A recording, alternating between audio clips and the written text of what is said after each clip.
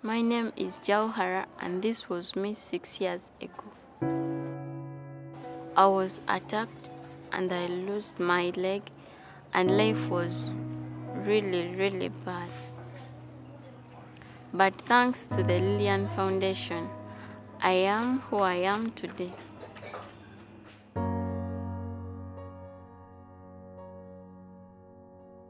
They started by giving me school fees so that I could study with other people.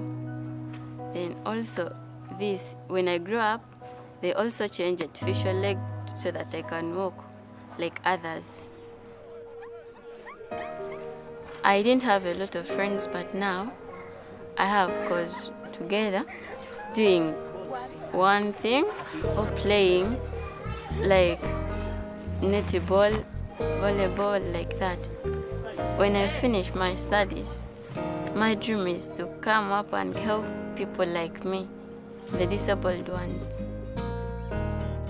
I want to be their voice and, and I want to be their hope.